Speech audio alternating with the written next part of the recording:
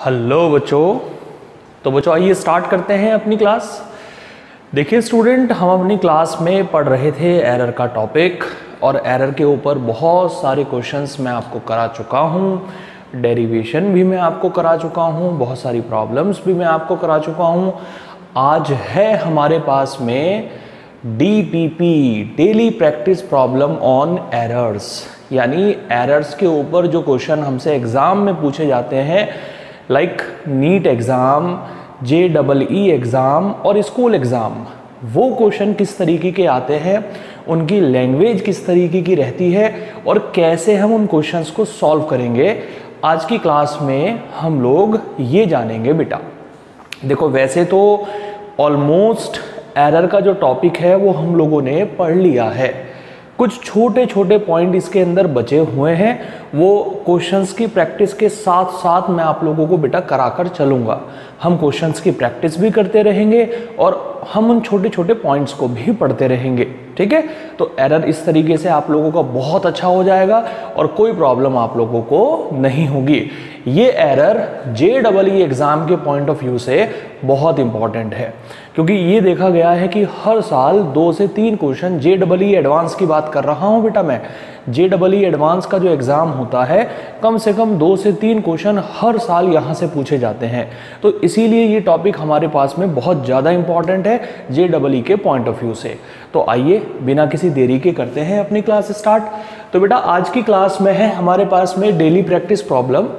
Daily practice problem on measurement यानी error. Questions आपके सामने हैं। इनमें से बहुत सारी प्रॉब्लम ऐसी है जो ऑलरेडी मैं आप लोगों को सॉल्व करा चुका हूँ। कुछ नई प्रॉब्लम भी आपको यहाँ पर मिलेगी। फॉर्म में एक छोटी सी बात क्लियर कर देना चाहता हूँ बेटा, कि जब मैं क्वेश्चंस आपको सॉल्व कराना स्टार्ट करूँगा तो बहुत सारी जगह नए नए फॉर्मूले आपके सामने आएँगे। तो मैं चाहूँगा कि आप फॉर्मूलों पर ज़्यादा ध्यान मत दें, क्योंकि फॉर्मूले तो ऑटोमेटिकली आपको वैसे भी याद हो जाएँगे। भाई, जैसे जैसे आप फिज़िक्स पढ़ते जाओगे, वैसे वैसे फॉर्मूले आपके सामने आते जाएँगे आते जाएँगे आते जाएँगे तो फॉर्मूले ऑटोमेटिकली आपको याद होते जाएँगे। तो फॉर्मूलों की कोई बहुत ज़्यादा टेंशन आप लोग ना लें। फॉर्मूले तो आपके क्लियर हो ही जाने हैं। आपको सिर्फ़ ध्यान देना है कि उस एरर की प्रॉब्लम को हम सॉल्व कैसे कर रहे हैं। उस एरर के कंसेप्ट को, उस एरर के क्वेश्चन को हम बना कैसे रहे हैं। इस चीज़ पर आप लोगों को ध्यान देना है बेटा, ओके? सो आइए स्टार्ट करते हैं। देखिए नंबर वन हमारे पास में है ये। नंबर वन प्रॉब्लम जो है हमारे पास में, वो ये है बेटा। नंबर वन क्वेश्चन हमारे पास में ये है। ए वायर हैज़ अ मास बेटा मास हमें दिया गया है इतना, ओके? रेडियस हमें दी गई है इतनी, और लेंथ हमें दी गई है इतनी। हमें बताना है the maximum percentage error in the measurement of its density is. देखो, दिया गया क्या है हम लोगों को? हमें मास दिया है, हमें रेडियस दी है, हमें लंबाई दी है, लेकिन एरर हमसे कहा में पूछी है? एरर हमसे पूछी है डेंसिटी में। अब कैसे हम बताएँगे डेंसिटी में एरर? यह है बहुत ज़रूरी बात। सबसे पहले मैं निकालता हूँ बेटा मास के अंदर percentage error delta M percent सबसे पहले हम मास के अंदर परसेंटेज एरर निकालते हैं। कैसे निकालेंगे मास के अंदर परसेंटेज एरर ये जो पीछे वाली वैल्यू है, इसे रखेंगे ऊपर। 0.003 मेन वैल्यू को रखेंगे नीचे मल्टीप्लाई करेंगे 100 से आंसर आएगा 1 परसेंट इसे सॉल्व करके जो आंसर हमारे पास में बनेगा वो बनेगा हमारे पास में वन परसेंट, यानी मास के अंदर जो परसेंटेज एरर आएगी वो एक परसेंट आएगी। इसके बाद हम लोग आते हैं बेटा रेडियस पर। हम निकालते हैं रेडियस की परसेंटेज एरर कैसे? ये दी गई है हमें रेडियस गिवन रेडियस जो हमें गिवन दी गई है, वो ये दी गई है। अब इस वैल्यू से हम रेडियस की परसेंटेज एरर कैसे बना सकते हैं? एरर वाली वैल्यू कितनी है हमारे पास में? एरर वाली वैल्यू है 0.005 divided by 0.5 multiply by 100 and the answer is 1 percent. Radius के अंदर भी परसेंटेज एरर हमारी आ गई 1 परसेंट। मास के अंदर percentage error one percent.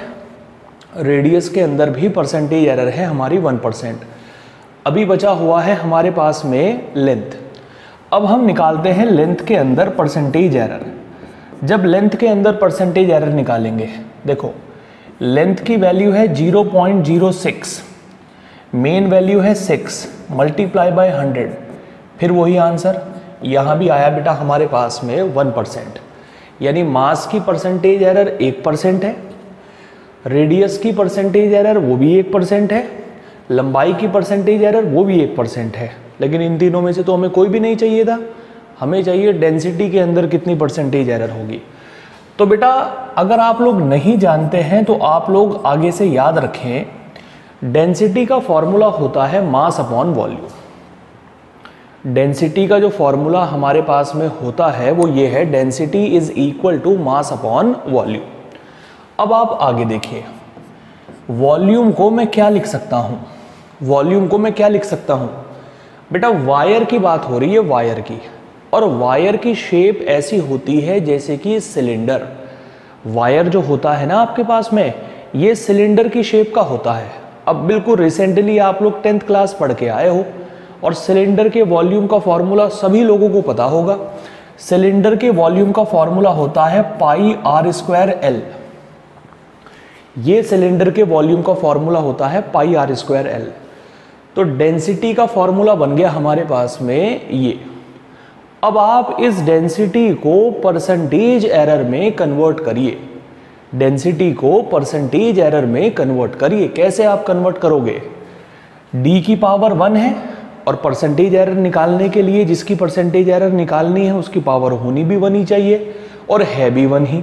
चलो फॉर्मूला अप्लाई कर देते हैं। तो डी को हम लिखेंगे delta D percentage is equal to M की पावर वन है m को हम लिखेंगे delta m percentage plus r की पावर टू है, हम इसे लिखेंगे two into delta R percentage plus और l को हम लिखेंगे डेल्टा l परसेंटेज ये हमने लिख दिया बेटा। मास को हमने लिख दिया delta m percentage R square को हमने लिख दिया two into delta R percentage और एल को हमने लिख दिया डेल्टा एल परसेंटेज अब आप देखिए क्या वैल्यू निकल कर आएगी। मास की वैल्यू निकल कर आएगी वन, आर की वैल्यू निकल कर आएगी वन, लेंथ की वैल्यू निकल कर आएगी वन। कुल मिलाकर फाइनल आंसर आएगा हमारे पास में four percent. This is the percentage error in density so correct answer is four यानी लास्ट ऑप्शन हमारा करेक्ट होगा बेटा। ऐसे हम प्रॉब्लम बनाने वाले हैं। अच्छा क्वेश्चन है। उम्मीद है कि आप लोगों को समझ आई हो बात। करिए, जल्दी से नोट डाउन फिर हम लोग आगे बात करेंगे।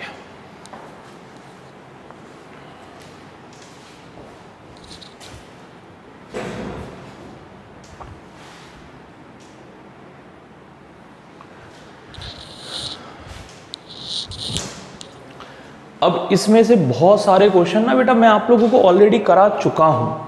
अब जो क्वेश्चन मैं आपको करा चुका हूँ, उनमें दोबारा से समय ख़राब करना टाइम वेस्ट करना मेरे हिसाब से अच्छा नहीं होगा। तो जो क्वेश्चन हम कर चुके हैं, उन्हें आप लोग अपने आप से एक बार ट्राई करें। क्वेश्चन नंबर टू जो है डिवाइड वाला सिग्निफिकेंट फिगर में मैंने डिवाइड करना आप लोगों को सिखाया था, मैं ऑलरेडी करा चुका हूँ। ये आप लोगों का होमवर्क है। क्वेश्चन नंबर टू आप लोग अपने आप से सॉल्व करें और देखें कि चारों ऑप्शन में से कौन सा ऑप्शन आपका निकल कर आएगा। अब आते हैं बेटा हम लोग क्वेश्चन नंबर थ्री में। प्रॉब्लम नंबर थ्री देखिए हम लोगों को क्या दे रखी है। प्रॉब्लम नंबर थ्री में ये, यहाँ प्रॉब्लम नंबर थ्री ये है ए बी सी और डी ए के अंदर परसेंटेज एरर है वन परसेंट फिर थ्री परसेंट फिर टू परसेंट फिर टू परसेंट देखो बेटा, प्रॉब्लम नंबर थ्री आप देखो कि हमें गिवन क्या दिया है। ये है प्रॉब्लम नंबर थ्री हमारे पास में। हमें बताना है कि कैपिटल ए के अंदर कितनी परसेंटेज एरर होगी। Find the percentage error in capital A यार, मैं कितनी बार आप लोगों से कह चुका हूँ कि ऐसा क्वेश्चन बहुत इंपॉर्टेंट है और इसकी प्रैक्टिस करें, आप जितनी ज़्यादा कर सकते हैं। कैपिटल ए के अंदर परसेंटेज एरर आपको निकालनी है और कैपिटल ए की पावर आपको दे रखी है वन कैपिटल ए में आपको परसेंटेज एरर निकालनी है और कैपिटल ए की पावर आपको दे रखी है वन सो कैपिटल ए को हम यहाँ लिखेंगे बेटा delta A percentage is equal to small A की पावर टू है, हम लिखेंगे two into delta A percentage plus three into delta B percentage plus C की पावर वन है डेल्टा सी परसेंटेज और डी की पावर है one by two one by two delta D percentage ये result हमारे सामने निकल कर आएगा। ए की power two two into delta A percentage, B to the power three three into delta B percentage, C to the power one, delta C percentage, और D की under root D का मतलब होता है डी की power one by two, यानी one by two delta D percentage. अब given देखिए हमें क्या दे रखा है। हमें गिवन दिया है कि जो डेल्टा ए परसेंटेज है, इसकी वैल्यू है वन परसेंट। जो डेल्टा बी परसेंटेज है, इसकी वैल्यू है थ्री परसेंट ये जो डेल्टा बी आपको दिख रहा है ना बेटा, इसकी वैल्यू हमें तीन दे रखी है। डेल्टा सी की वैल्यू हमें दे रखी है दो परसेंट हाफ़ और डेल्टा डी की वैल्यू हमें दे रखी है टू परसेंट अब जब इसे हम सॉल्व करेंगे तो क्या आंसर आएगा? Two plus nine plus two plus one तो बेटा करेक्ट आंसर आया हमारे पास में fourteen percent this is the percentage error in capital A is fourteen percent ऐसे हम बनाएँगे क्वेश्चन। उम्मीद है कि आप लोगों को समझ आई हो बात। इस तरीके से हम प्रॉब्लम बनाएँगे और फाइनल आंसर हमारा निकल कर आया 14 परसेंट वीडियो को पॉज करिए और जल्दी से नोट डाउन करिए देन हम आगे की तरफ़ बढ़ते हैं।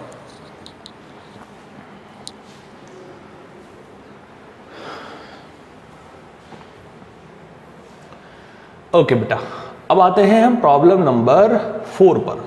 देखिए, ये आपको प्रॉब्लम नंबर फोर दे रखी है स्टूडेंट प्रॉब्लम नंबर फोर हालाँकि मैं इसके जैसा क्वेश्चन भी आपको करा चुका हूँ। सिर्फ़ लैंग्वेज को हल्का सा बदल दिया गया है। बाकी सब कुछ सेम है। मैं ऐसा क्वेश्चन ऑलरेडी आप लोगों को करा चुका हूँ बेटा। सिर्फ़ लैंग्वेज को हल्का सा बदल दिया है, बाकी सब कुछ सेम है। क्या कंडीशन आपको दे रखी है, ज़रा एक बार पढ़ लेते हैं। A physical quantity is given by ये फ़िज़िकल क्वांटिटी हमें गिवन दी गई है। X की पावर वन है, x की पावर वन होनी चाहिए और है भी वन ही। आपको x के अंदर परसेंटेज एरर निकालनी है ना? X की पावर कितनी होनी चाहिए? वन और है भी वन ही हमारे पास में। The percentage error in measurement of mass length and time mass की जो परसेंटेज एरर है, वो है एल्फा लेंथ की जो परसेंटेज एरर है, वो है बीटा और टाइम की जो परसेंटेज एरर है हमारे पास में, वो है gamma respectively the maximum percentage error in the quantity X is बिल्कुल सेम क्वेश्चन बिल्कुल सेम क्वेश्चन कोई अलग बात नहीं करनी है. एक्स आपको गिवन दिया है ये. X is equal to M to the power A L to the power B T to the power C जब हम इसकी परसेंटेज एरर बनाना स्टार्ट करेंगे तो सबसे पहले चेक करेंगे कि x की पावर वन है या नहीं है। फिर हम x को लिखेंगे delta x percentage is equal to A into delta M percentage plus B into delta L percentage plus C into delta T percentage ये हम लोगों ने लिखा बेटा। डेल्टा एम परसेंटेज कितना है हमारे पास में? डेल्टा एम परसेंटेज है हमारे पास में alpha so A alpha delta L percentage कितना है? बीटा डेल्टा टी परसेंटेज कितना है? गामा तो फाइनली जो हमारे पास में आंसर निकल कर आया ना बेटा, वो ये निकल कर आया। अपने चारों ऑप्शन से आप मैच कर लीजिए। देखिए कौन सा ऑप्शन आपका करेक्ट बैठेगा। बात खत्म। इस तरीके से हम प्रॉब्लम सॉल्व करेंगे। तो अब मुझे उम्मीद हो गई है कि भाई आप लोगों को एक थोड़ा सा आइडिया लग गया है कि क्वेश्चंस को किस तरीके से सॉल्व करना है। अब मैं इस डीपीपी से बहुत सारी प्रॉब्लम आप लोगों को सॉल्व करने के लिए दूँगा।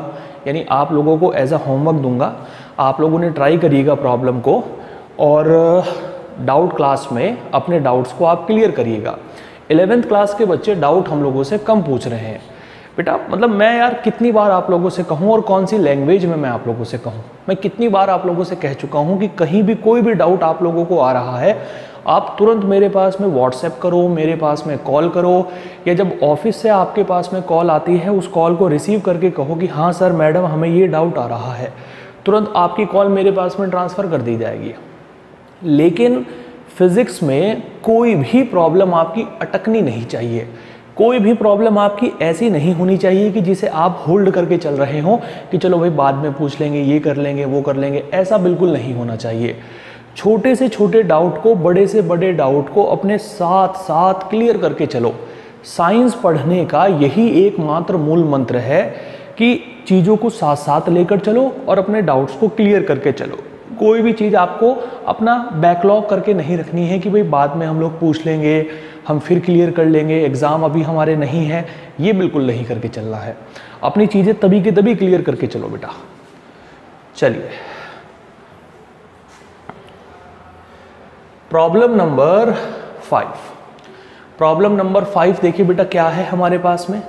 अब तो बहुत इजी इजी प्रॉब्लम है, मैं ऑलरेडी करा चुका हूँ इस तरीके की प्रॉब्लम आप लोगों को तो मुझे लगता नहीं कि कोई परेशानी आएगी आप लोगों को। प्रॉब्लम यह है if the length of rod is A यानी ए वाली जो रॉड है, उसकी लंबाई आपको दी गई है ये। ए वाली रॉड की लंबाई आपको दी गई है ये। और बी वाली रॉड की लंबाई आपको दी गई है ये। आपको बताना है कि बी माइनस ए कितना होगा। बी माइनस ए अब याद करिए बेटा, मैंने माइनस करना आपको सिखाया था कि जब माइनस करना होता है तो हम कैसे माइनस करते हैं? मेन वैल्यू में से मेन वैल्यू को माइनस करते हैं। और एरर वाली वैल्यू को हमेशा ऐड करते हैं। जब भी हमें एडिशन करना है या सब्ट्रैक्शन करना है तो वो एडिशन और सब्ट्रैक्शन सिर्फ़ और सिर्फ़ मेन वैल्यू पर अप्लाई होता है, सिर्फ़ और सिर्फ़ मेन वैल्यू पर। एरर वाली वैल्यू हमेशा आपस में ऐड होती है, हमेशा आपस में ऐड होती है। तो आप ये समझिए कि एक रॉड की लंबाई हमें दी गई है ये, और दूसरी रॉड की लंबाई हमें दी गई है ये। सो so, हमें बताना है then the rod B is longer than rod A rod B rod A से कितनी ज़्यादा है? तो आप बी में से ए को माइनस करेंगे। जब आप बी में से ए को माइनस करेंगे तो मेन वैल्यू में से मेन वैल्यू को माइनस करेंगे और एरर वाली वैल्यू आपस में आपकी हो जाएँगी ऐड चारों ऑप्शन में से आप देख लेंगे कौन सा ऑप्शन आपका करेक्ट बैठेगा। वही आप लोगों का आंसर हो जाएगा बेटा। बिल्कुल ऐसे ही हमें बनानी है प्रॉब्लम नंबर सिक्स बिल्कुल ऐसे ही हमें बनानी है। प्रॉब्लम नंबर सिक्स लेंथ हमें दी गई है। एल हमें दिया गया है। बी हमें दिया गया है। एल प्लस बी हमें बताना है। अब याद करिए, मैंने सिग्निफिकेंट फिगर में आपको ऐड करना सिखाया था बेटा। मैंने सिग्निफिकेंट फिगर में आपको ऐड करना सिखाया था और मैंने वहाँ क्या आप लोगों को बताया था कि जब दो वैल्यूज़ को आप ऐड करते हैं तो ऐड करने के बाद जो रिजल्टेंट निकल कर आता है, यानी जो फाइनल आंसर निकल कर आता है, उसमें डेसिमल के बाद में उतने प्लेसेस तक वैल्यू होगी जितने कम नंबर में होंगी। यानी आप ये समझिए, यहाँ डेसिमल के बाद थ्री प्लेसेस तक वैल्यू है, यहाँ डेसिमल के बाद सिर्फ़ एक प्लेस तक वैल्यू है। तो जब आप इन दोनों को ऐड कर देंगे ना तो फाइनल आंसर में सिर्फ़ डेसिमल के बाद एक ही प्लेस तक वैल्यू रहेगी बेटा। सिर्फ़ एक प्लेस तक वैल्यू रहेगी। ये सभी चीज़ें ऑलरेडी मैं आप लोगों को पढ़ा चुका हूँ। दोबारा बताने का मतलब नहीं बनता है, क्योंकि जब पढ़ा दिया है और बहुत अच्छे से पढ़ा दिया है तो फिर कोई प्रॉब्लम होनी नहीं चाहिए आप लोगों को। तो problem number five problem number six problem number seven ये तीनों के तीनों क्वेश्चन आप लोगों का होमवर्क है। तीनों आप लोगों को अपने आप से सॉल्व करने हैं बेटा। ठीक है? नोट कर लीजिए problem number five problem number six and problem number seven अब आते हैं हम नेक्स्ट प्रॉब्लम पर।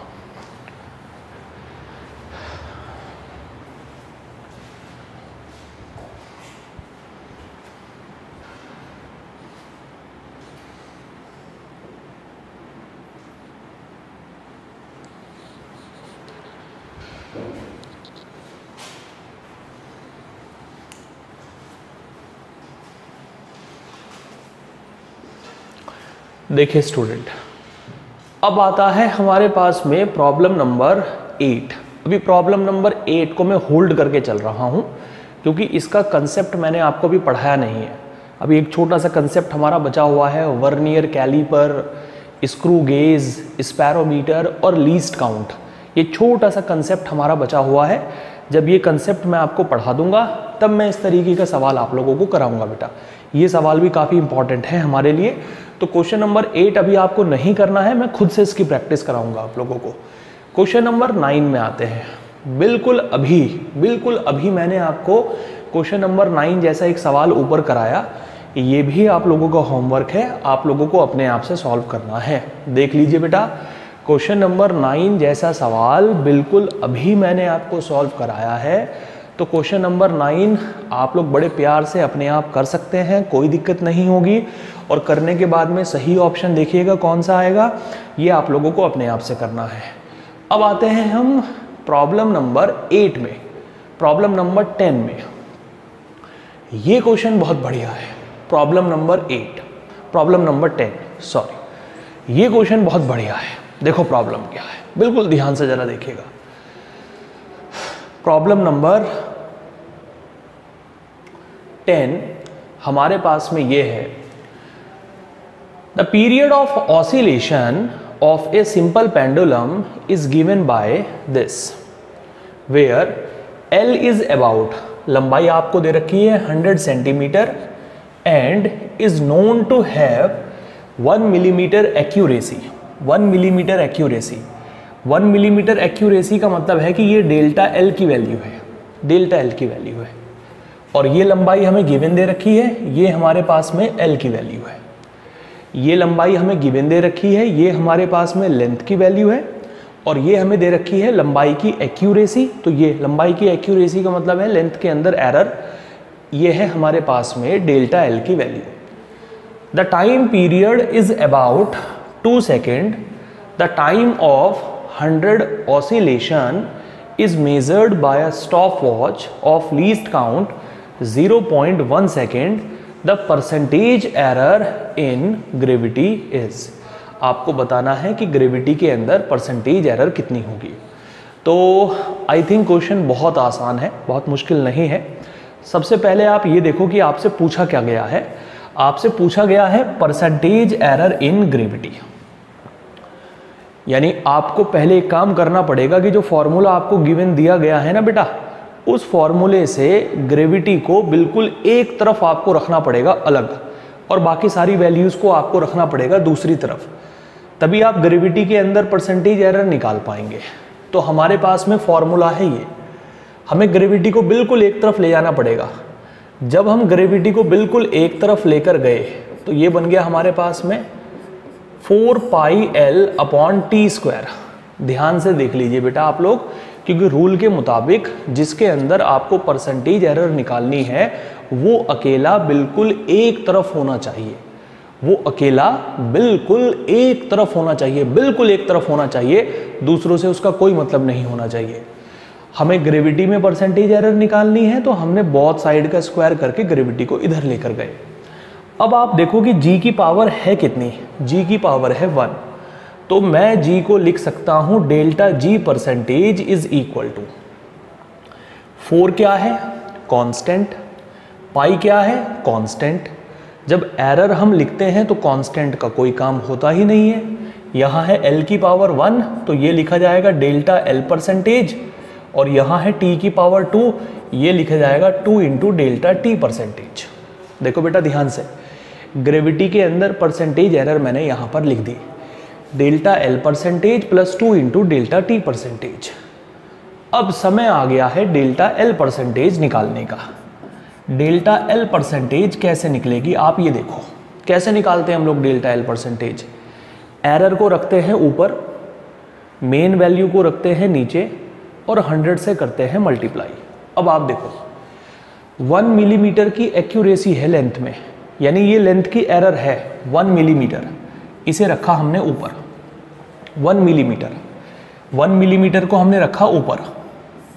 ठीक है? पूरी लेंथ कितनी है? पूरी लेंथ है 100 सेंटीमीटर इसे रखा नीचे और 100 से कर दिया मल्टीप्लाई ये हमने लेंथ की परसेंटेज एरर निकाली। एरर को रखा ऊपर मेन वैल्यू को रखा नीचे और 100 से कर दी मल्टीप्लाई लेकिन एक समस्या है। समस्या यह है कि ये मिलीमीटर में है और ये सेंटीमीटर में है। इन दोनों की यूनिट होनी चाहिए सेम आप मिलीमीटर से सेंटीमीटर को थोड़ी डिवाइड कर दोगे। हम लेंथ की परसेंटेज एरर निकाल रहे हैं। एरर वाली वैल्यू को रखा, ऊपर मेन वैल्यू को रखा, नीचे मल्टीप्लाई बाय हंड्रेड तो सेंटीमीटर को जब हम मीटर में कन्वर्ट करेंगे तो एक सेंटीमीटर में होते हैं दस मिलीमीटर एक सेंटीमीटर में दस मिलीमीटर होते हैं। डिवाइड किया आंसर आ गया हमारे पास में one percent this is the percentage error in length ये हमारी लेंथ की परसेंटेज एरर है बेटा। ये हमारी लेंथ की परसेंटेज एरर है, आप ध्यान रखेगा। कैसे हमने फाइंड आउट की है? अब ग्रेविटी के अंदर अगर परसेंटेज एरर निकालनी है तो लेंथ की परसेंटेज एरर तो चाहिए ही चाहिए। टाइम की परसेंटेज एरर भी चाहिए। अब टाइम की परसेंटेज एरर कैसे निकलेगी? आप देखो ज़रा। टाइम की परसेंटेज एरर कैसे निकलेगी? आप ज़रा देखिए, किस तरीके से हम टाइम की परसेंटेज एरर निकालेंगे। अरे भैया, मैंने गलत लिख दिया यहाँ पर। ये ज़ीरो पॉइंट वन परसेंट आएगा बेटा। Zero point one percent sorry मैंने गलती से लिख दिया। ये ज़ीरो पॉइंट वन परसेंट आएगा। अब टाइम की परसेंटेज एरर निकालते हैं। टाइम की परसेंटेज एरर देखो हंड्रेड ऑसिलेशन में इतनी एरर है। 0.1 सेकंड की एरर है 100 ऑसिलेशन में। बिल्कुल ध्यान से देखिएगा बेटा। 100 ऑसिलेशन में 100 बार चक्कर लगाने में, सौ बार ऐसे चक्कर लगाने में इतनी एरर आती है। और एक चक्कर का टाइम है दो सेकंड एक ऑसिलेशन का जो टाइम है वो दो सेकंड है और 100 ऑसिलेशन में आती है इतनी एरर अब मुझे एक बात बताओ, अगर 100 ऑसिलेशन में 0.1 सेकंड की एरर है और एक ऑसिलेशन को कंप्लीट करने में, एक राउंड को कंप्लीट करने में दो सेकंड लगते हैं तो 100 राउंड पूरे करने में कितना टाइम लगेगा? 100 राउंड पूरे करने में 200 सेकंड का टाइम लगेगा। 100 राउंड को पूरा करने में जो टाइम हमारे पास में लगेगा वो 200 का टाइम लगेगा बेटा। हमने एरर को रख दिया ऊपर 0.1 एक ऑसिलेशन में लगते हैं दो सेकंड। नंबर ऑफ़ ऑसिलेशन है हमारे पास में 100 टोटल टाइम को हम रख, हमने रख दिया नीचे। और परसेंटेज निकालने के लिए हमने 100 से मल्टीप्लाई किया। अब आप देखो क्या वैल्यू निकल कर आएगी हमारे पास में। हमारे पास में निकल कर आएगा 10 अपॉन टू हंड्रेड ये निकल कर आया हमारे पास में 1 अपॉन ट्वेंटी ये हमारे पास में निकल कर आया बेटा वन अपॉन ट्वेंटी और delta T percentage one upon twenty की वैल्यू हो गई हमारे पास में zero point zero five percent zero point zero five percent यहाँ उठाकर पुट कर देते हैं। लेंथ की एरर है वन परसेंट, इसकी एरर है zero point zero five, so correct answer is zero point two percent. ये थर्ड ऑप्शन हमारा करेक्ट होगा बेटा। यहाँ जो ऑप्शन करेक्ट होगा, ये थर्ड ऑप्शन हमारा करेक्ट होगा। तो फ़र्स्ट ऑफ़ ऑल हमें फॉर्मूला दिया गया था, हमने सबसे पहले ग्रेविटी की परसेंटेज एरर को निकाल दिया वहाँ से। मतलब हमने फॉर्मूले को सेट कर दिया और फॉर्मूले को सेट करने के बाद हमने देखा कि हमें ज़रूरत पड़ेगी लेंथ के अंदर परसेंटेज एरर की और टाइम के अंदर परसेंटेज एरर की। अब लेंथ के अंदर परसेंटेज एरर कैसे निकाली जाएगी? लेंथ वाली एरर को हमने रखा ऊपर टोटल लेंथ को रखा नीचे मल्टीप्लाई बाय हंड्रेड लेकिन ध्यान रखना यूनिट सेम कर लेना इनकी। फिर हमने टाइम में निकाला। एरर को रखा ऊपर मेन वैल्यू को रखा नीचे हंड्रेड से मल्टीप्लाई किया, ये निकल गई हमारे पास में। दोनों की वैल्यू को उठाकर यहाँ पुट किया, ये बन गया हमारा answer correct answer is 0.2 percent उम्मीद करते हैं कि बात समझ आई हो आप लोगों को। ओके क्वेश्चन जल्दी से नोट कर लीजिए आंसर नोट कर लीजिए, बड़ा अच्छा क्वेश्चन है। आगे भी इस तरीके के क्वेश्चन आएँगे और आपके कंसेप्ट क्लियर हो जाएँगे बेटा।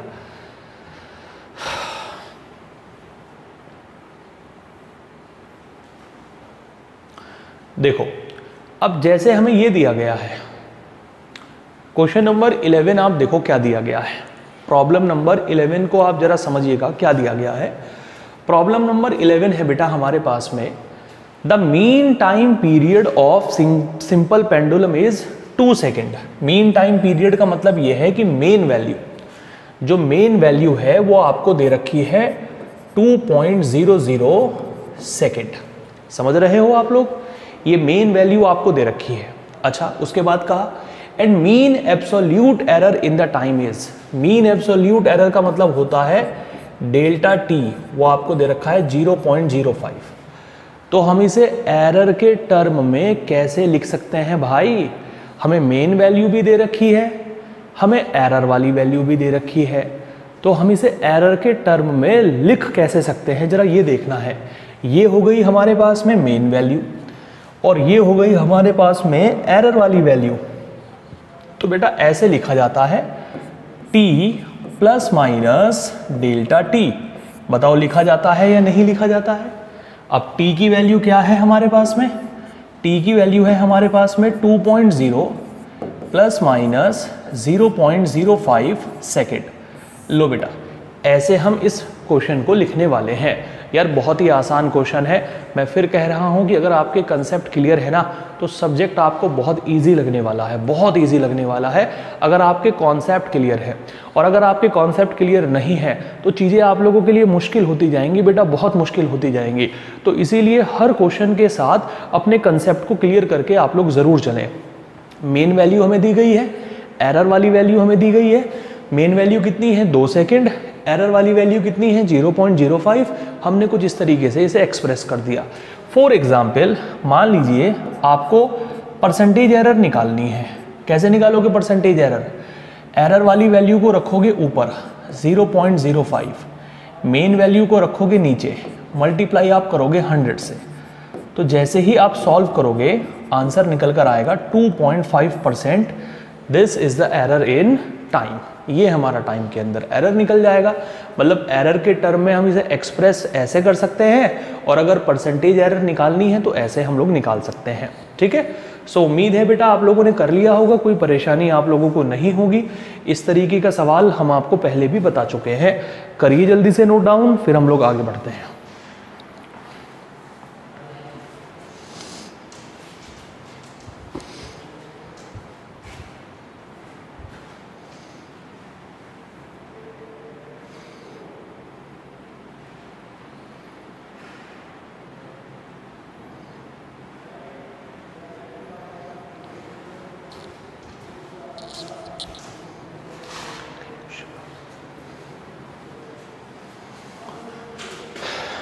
अच्छा प्रॉब्लम नंबर ट्वेल्व मैं इस तरीके का सवाल ऑलरेडी आप लोगों को पढ़ा चुका हूँ प्रीवियस क्लास में तो मैं चाहूँगा कि इस क्वेश्चन को आप खुद से सॉल्व करें। प्रॉब्लम नंबर ट्वेल्व जैसा क्वेश्चन मैं आपको पहले ही पढ़ा चुका हूँ प्रीवियस क्लास में तो मैं चाहूँगा कि इस क्वेश्चन को आप खुद से ही एक बार सॉल्व करें बेटा, ठीक है? आपको रेडियस के अंदर परसेंटेज एरर दे रखी है वन परसेंट वॉल्यूम के अंदर आपको बतानी है कितनी परसेंटेज एरर होगी। तो स्पेयर का वॉल्यूम देख लीजिएगा कितना होता है। Four by three pi R cube वहाँ से आप वॉल्यूम के अंदर परसेंटेज एरर निकाल देंगे, ठीक है? अब आते हैं हम नेक्स्ट क्वेश्चन पर। देखिए प्रॉब्लम नंबर थर्टीन बेटा, क्या है प्रॉब्लम नंबर थर्टीन ज़रा समझिएगा। प्रॉब्लम थोड़ी बड़ी है क्वेश्चन थोड़ा बड़ा है। हमें बहुत अच्छे तरीके से इस प्रॉब्लम को सॉल्व करना पड़ेगा। और इसमें ना कुछ कंसेप्ट ऐसे भी यूज़ हो रहे हैं जो अभी आप लोगों ने पढ़े नहीं हैं। इस क्वेश्चन में कुछ ऐसे भी कंसेप्ट यूज़ हो रहे हैं, जो अभी आप लोगों ने नहीं पढ़े हैं। कुछ ऐसे फॉर्मूले यूज़ हो रहे हैं, जो आप लोगों ने अभी नहीं पढ़े हैं। तो चिंता की कोई बात नहीं है, आप आराम से सभी चीज़ों को देखिएगा।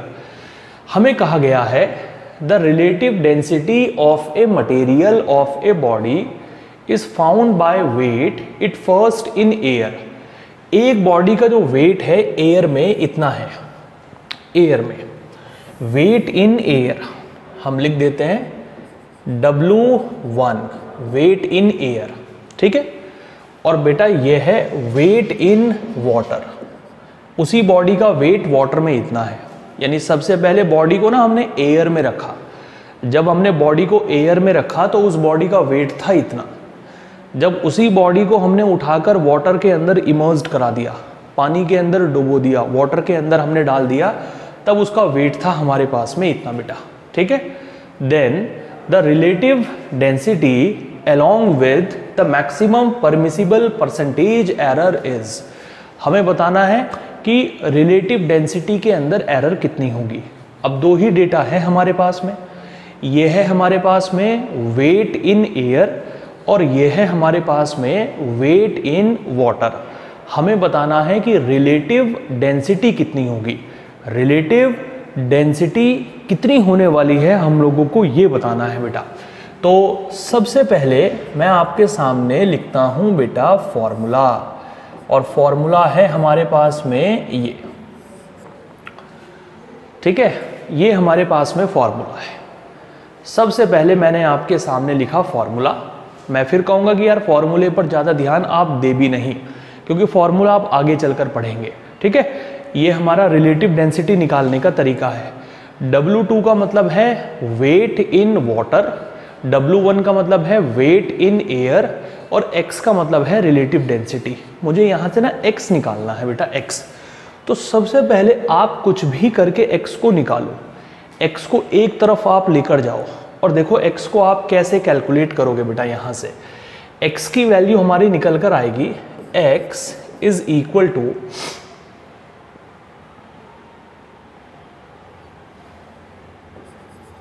W one upon W two minus W ये वैल्यू निकल कर आएगी बेटा हमारे पास में। आप देख लीजिए एक बार ध्यान से। X की जो वैल्यू हमारे पास में यहाँ से निकल कर आएगी, वो वैल्यू हमारी निकल कर आएगी। एक बार चेक कर लेते हैं, ज़रा कुछ उल्टा तो नहीं हम लोगों ने हम लोगों ने लिख दिया। W two upon W one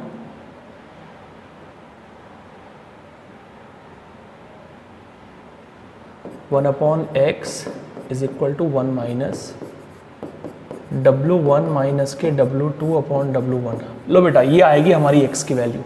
जब यहाँ से हम सॉल्व करेंगे ना तो x की वैल्यू आएगी W1 one upon W one minus W two. ये आएगी x की वैल्यू। हमें x निकालना है। x हमारा आ गया इतना यहाँ पर। ठीक है? अब देखो हम कैसे सॉल्व करेंगे। यार नीचे की तरफ़ डिनोमिनेटर में आपको दिख रहा है W1 one minus W to अब मुझे W1 one minus W to नहीं लिखना है। मैंने W1 one minus W two को देखो क्या लिखा। बिल्कुल ध्यान से आप देखिएगा। मैंने W1 one minus W two को लिख दिया y क्या लिख दिया है? Y W1 की वैल्यू मेरे पास में है, ये रही।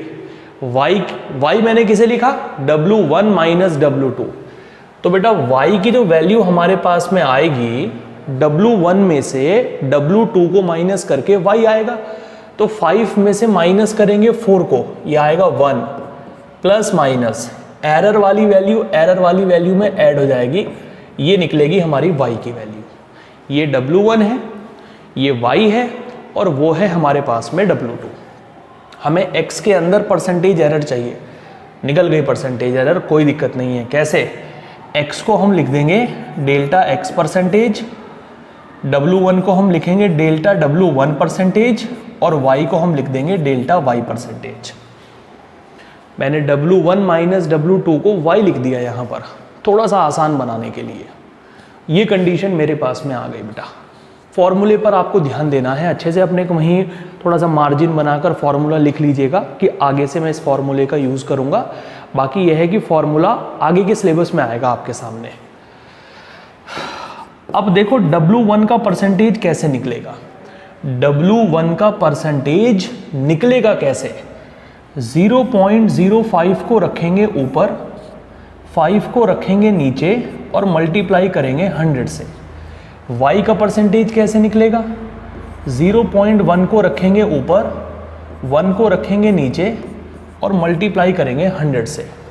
तो हमारे पास में x का परसेंटेज यहाँ से निकल कर आएगा बेटा 11 परसेंट ग्यारह परसेंट यानी रिलेटिव डेंसिटी का जो परसेंटेज निकल कर आएगा, वो 11 परसेंट निकल कर आएगा।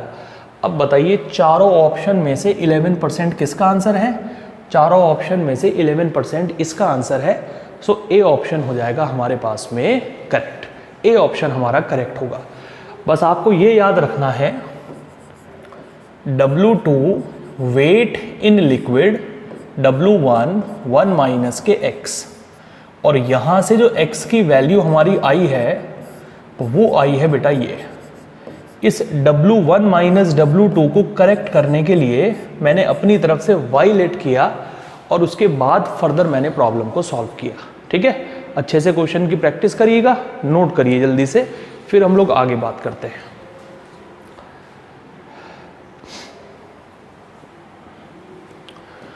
देखो बेटा नेक्स्ट क्वेश्चन है हमारे पास में, ये ऐसा क्वेश्चन भी हम पहले पढ़ चुके हैं ऑलरेडी इस तरीके का सवाल मैं आपको करा चुका हूँ। ये आपके पास में रेजिस्टेंस है, ये वोल्टेज है और ये करंट है। कैसे करेंगे आप प्रॉब्लम को सॉल्व आर को आप लिख देंगे delta R percentage is equal to V को आप लिखेंगे डेल्टा वी परसेंटेज और आई को आप लिखेंगे डेल्टा आई परसेंटेज ठीक है? आर की पावर वन थी ना रेजिस्टेंस के अंदर परसेंटेज एरर निकालनी थी तो ये हमने लिख दिया। अब डेल्टा वी परसेंटेज कैसे निकलेगा?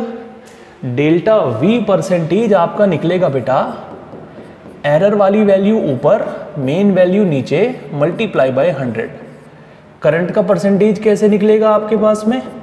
0.2 डिवाइडेड बाय 10 मल्टीप्लाई बाय 100 यहाँ से जो दोनों की परसेंटेज वैल्यू आएगी, वो यहाँ पुट करेंगे आंसर बन जाएगा हमारे पास में। ऐसे हम क्वेश्चन बनाने वाले हैं। तो इस क्वेश्चन को भी कंप्लीटली आप खुद से सॉल्व करें, क्योंकि हम पहले भी इस क्वेश्चन को करा चुके हैं। ओके अब आते हैं हम बेटा क्वेश्चन नंबर 15 पर। क्वेश्चन नंबर 15 भी अभी आपको नहीं करना है। एक क्वेश्चन मैंने पहले आपका रुकवाया था। एक क्वेश्चन मैं आपका 15 रुकवा रहा हूँ, क्योंकि इस कंडीशन में यूज़ हो रहा है वर्नियर कैलीपर। और आपको अभी नहीं पता है कि वर्नियर कैलीपर होता क्या है। जो हमारी कल की क्लास होगी, यानी जो हमारी नेक्स्ट क्लास होगी, उसमें हम वर्नियर कैलीपर के बारे में ही जानने वाले हैं। तो आपको अच्छे तरीके से सभी चीज़ें समझ में आएँगी। जब वर्नियर कैलीपर, स्क्रू गेज या स्पैरोमीटर मैं आपको पढ़ा दूँगा बेटा, ठीक है? तो क्वेश्चन नंबर 15 अभी आपको नहीं करना है, ट्राई नहीं करना है। अभी आप इसे होल्ड करके रखिएगा। नेक्स्ट क्वेश्चन पर हम लोग आते हैं। क्वेश्चन नंबर 16 हम देखते हैं, बेटा, क्या है? ये क्वेश्चन भी ऑलरेडी मैं आप लोगों को पढ़ा चुका हूँ। बहुत सारे क्वेश्चन तो ऐसे हैं यार, मैं ऑलरेडी आप लोगों को करा चुका हूँ। हीट का फॉर्मूला है आपके पास में आई स्क्वायर आर टी जब आप इसे लिखोगे तो एच को आप क्या लिखोगे? Delta H percentage two into delta I percentage plus delta R percentage plus delta T percentage ये हमने हीट के फॉर्मूले को लिख दिया। अब करंट की परसेंटेज एरर है तीन परसेंट रेजिस्टेंस की परसेंटेज एरर है चार परसेंट और टाइम की परसेंटेज एरर है छः परसेंट यहाँ पुट करेंगे सॉल्व करेंगे ऑप्शन मैच कराएँगे आंसर हो जाएगा बेटा। ठीक है? इस तरीके से हम क्वेश्चन बनाएँगे। तो अभी तक, यहाँ तक 16 क्वेश्चन जो हमने आपको बताए हैं बेटा 16 सवालों में सिर्फ़ दो सवाल ऐसे हैं जो आपको नहीं करने हैं, बाकी के 14 प्रॉब्लम आपको खुद से सॉल्व करनी है। अभी तक जो क्वेश्चन मैंने आप लोगों को कराए हैं, जो 16 प्रॉब्लम्स मैंने आपको कराई हैं, ये अलग अलग टाइप की प्रॉब्लम है अलग अलग कंसेप्ट की प्रॉब्लम है, जो नीट जे डबल ई और आपके स्कूल एग्ज़ाम में फ्रिक्वेंटली पूछी जाती हैं बेटा। तो इनमें सिर्फ़ दो क्वेश्चन ऐसे हैं जो अभी हमने होल्ड पर रखे हैं। बाकी सब हमने आपको बताए हैं। आप सारे क्वेश्चंस को ट्राई करें अच्छे से, बिल्कुल। ठीक है? ओके अब आते हैं बेटा हम लोग आगे। कुछ क्वेश्चंस मैं आप लोगों को दे रहा हूँ, जो आप लोगों को खुद से एक बार ट्राई करने हैं। Problem number 17 problem number 18 problem number 19 and problem number 20 आप लोग इसे नोट कर लीजिए इन चार प्रॉब्लम्स को। ये चार प्रॉब्लम्स भी आपको सॉल्व करनी है बेटा। प्रॉब्लम नंबर 17, 18, 19, 20 करिए जल्दी से सॉल्व चारों क्वेश्चन को लिख लीजिए ये चारों क्वेश्चन आपका होमवर्क है। देखते हैं कि कितने बच्चे इन चार प्रॉब्लम को सॉल्व कर पाते हैं।